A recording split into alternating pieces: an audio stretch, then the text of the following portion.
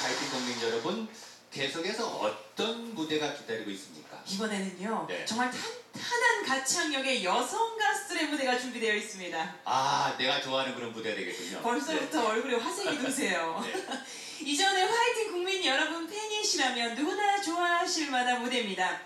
아줌마의 파워를 노래하는 아줌마는 살아있다의 차성현 씨, 네. 유쾌한 가창력의 언니 말이 담아자의 홍장가 씨, 분위기 있는 음색 세워라 유혜진 씨, 돋보이는 미모 당신을 사랑해요의 김주현 씨가 준비하고 있습니다. 자 그럼 먼저 차성현 씨 만나보시겠습니다. 여러분 박수로 환영해 주시기 바랍니다.